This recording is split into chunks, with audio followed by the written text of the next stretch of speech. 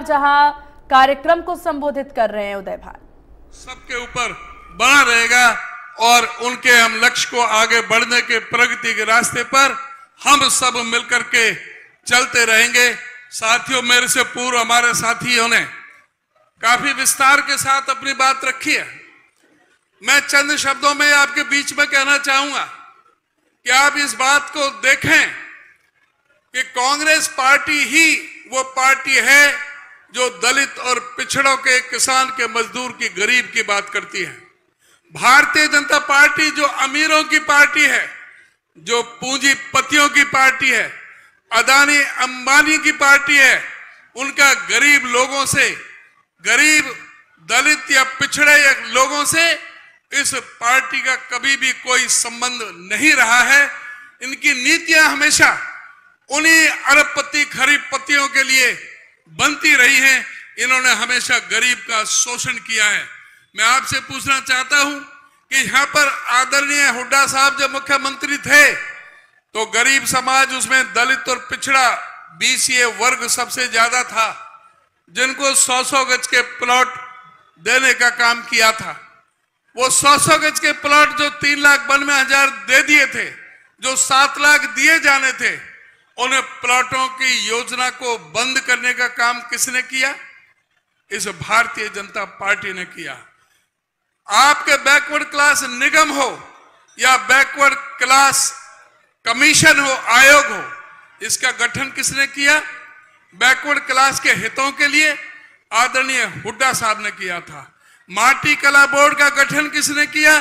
आदरणीय हुड्डा साहब ने किया था। केस कला बोर्ड का गठन किसने किया था? आदरणीय हुड्डा साहब ने किया था। प्रजापत समाज को अलग से ज़मीन देने का गाँवों में किसका फैसला था? कांग्रेस पार्टी का फैसला था। कांग्रेस पार्टी ने हमेशा गरीब की मदद की वजीफा देने का काम किया। गरीब को तो कांग्रेस पार्टी ने दिया था। इंदिरा आवास योजना के तहत मकान देने का काम शुरू किया था। तो कांग्रेस पार्टी ने दिया था। बैकवर्ड क्लास निगम के चार सौ सत्तासी करोड़ रुपए के कर्जा माफ़ करने का काम किया था तो हुड्डा साहब ने किया था। बैकवर्ड क्लास को आप बताएँ कि हुड्डा साहब जब मुख्यमंत्री थे तो बैकवर्ड क्लास की क्रीमी लेयर आठ लाख रुपए थी। उसको छह लाख रुपए किसने किया था?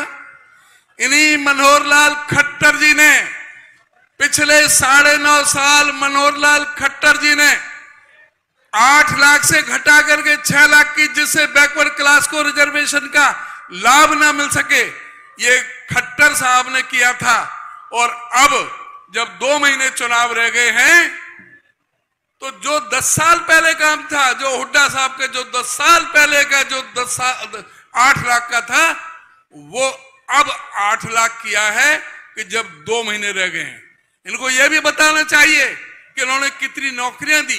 कौशल विकास रोज़गार निगम सबसे बड़ा धोखा है इस प्रदेश के गरीब से, दलित से, पिछड़े के साथ। उसमें कोई रिजर्वेशन नहीं, कोई मेरिट नहीं, कोई तनख्वाह आधी पर ठेकेदारी सरकार बन गई थी, वो सबसे बड़ा धोखा कौशल विकास रोज़गार निगम के माध्यम से किया। अब ये कहते हैं मुख्यमंत्री कि परिवार पहचान पत्र और प्रॉपर्टी आईडी में गलतियाँ थी मैं पूछना चाहता हूँ सरकार से कि इनको माफ़ी मांगना चाहिए। पहले बताएँ कि परिवार पहचान पत्र प्रॉपर्टी आईडी में जब सारा विपक्ष कांग्रेस जन जगह जगह चिल्ला के कह रहा था कि इस एक एक किलोमीटर की लंबी लाइनें लगी हुई थी, ये परिवार पहचान पत्र परमानेंट परेशानी पत्र बनकर रह गया था। अगस्त 2020 में इन्होंने लागू की थी। अब तक वो ठीक क्यों नहीं हुई? ये दो महीने में ठीक कैसे हो जाएगी? ये अपने कान में तेल डाल करके सोए हुए थे, हम चिल्ला रहे थे, मीडिया चिल्ला रहा था, अखबारों में बड़े बड़े कॉलम लिखे जा रहे थे।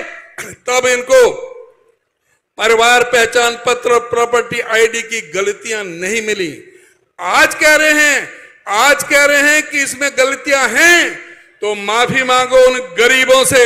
मुझे बताओ कि जो साढ़े नौ लाख गरीबों के पीले राशन कार्ड कटे हैं, वो किन लोगों के हैं? इस प्रदेश के दलित और पीड़ित और शोषित और उपेक्षित समाज के, वंचित समाज के, पिछड़े समाज के, गरीब समाज के लोगों के साढ़े नौ लाख गरीबों के पीले राशन कार्ड काटने का महापाप इस सरकार ने किया है। परिवार पहचान पत्र को हथियार बना करके, परिवार पहचान पत्र को हथियार बना करके, पौने पाँच लाख बुज़ुर्गों की पेंशन काटने का महापाप इस सरकार ने किया है।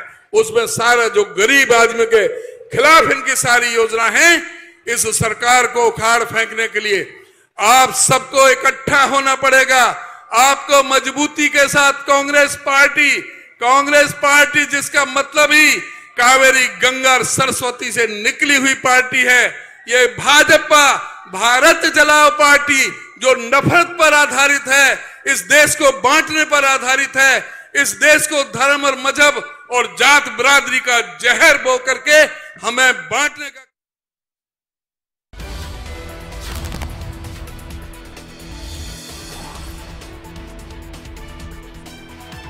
उदयभान ने भाजपा पर जमकर साधा निशाना। पिछड़े समाज की बीजेपी ने अनदेखी की है। आगे कहा कि कांग्रेस पार्टी ने हमेशा गरीब की मदद की है। बीजेपी अमीरों की पार्टी है, पिछड़े समाज की बीजेपी ने अनदेखी की। फिर बड़ी खबर जहाँ उदयभान ने बीजेपी पर जमकर साधा निशाना। कहा, पिछड़े समाज की बीजेपी ने की है अनदेखी। कांग्रेस पार्टी ने हमेशा गरीबों की मदद की इस वक्त।